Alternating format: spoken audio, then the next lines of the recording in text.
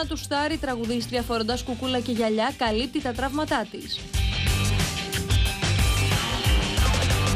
Είμαι πολύ χαρούμενη που βγαίνει, που είναι καλά. Που- Αυτό, που, που ζει. Με δική της ευθύνη βγαίνει αυτό. Ναι, ναι, ναι, ναι, ναι, ναι. ακριβώς, ακριβώς. Βγαίνει από το νοσοκομείο υποβασταζόμενη. Χτύψε στη σπονδυλική της στήλη και τον αφιένα.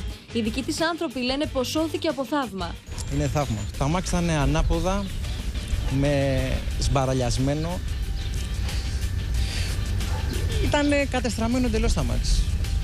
Μόνο η Μαριάντα ήταν, ήτανε καλά. Θα ήθελα να ευχαριστήσω τον κόσμο που βρέθηκε στο ατύχημα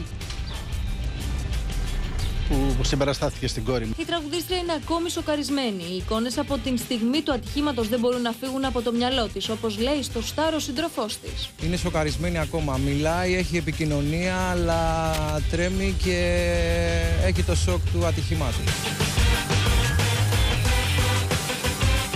Τώρα πρέπει να ξεκουραστεί βέβαια πολύ στο σπίτι, να μην ε, κινείται, να μην βγαίνει. Εντάξει. Στο πλευρό της βρίσκονται οι γονείς της, ο σύντροφός της και αγαπημένοι της φίλοι. Όλοι τους προσπαθούν να τη βοηθήσουν να ξεχάσει το μεσημέρι της Πέμπτης.